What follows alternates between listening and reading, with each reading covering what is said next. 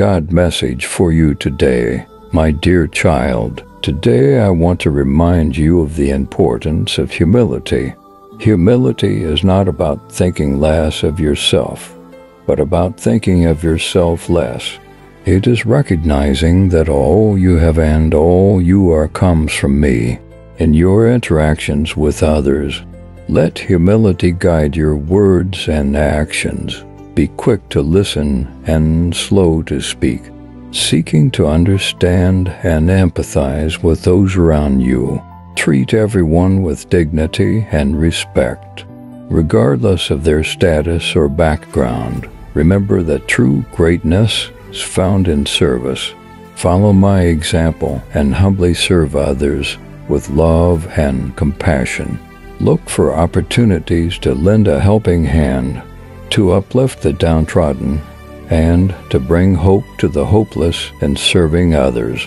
You reflect my character and bring glory to my name. Cultivate a heart of gratitude and thankfulness. Acknowledge that every good and perfect gift comes from me. Give thanks for the blessings in your life, both big and small, and share your gratitude with others. Let your gratitude overflow into acts of generosity and kindness. Remain humble in your achievements and successes.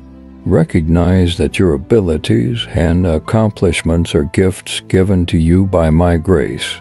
Use them to bring glory to me and to benefit others, rather than seeking personal glory or recognition. In moments of pride or self-centeredness, Turn to me in humility.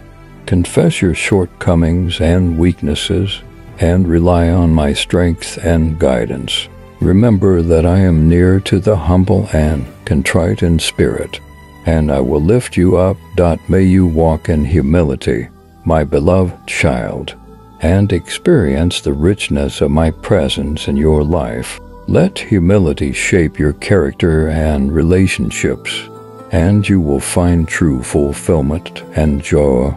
I am with you always, guiding you on the path of humility and love. Amen. Like, share, and subscribe to the channel.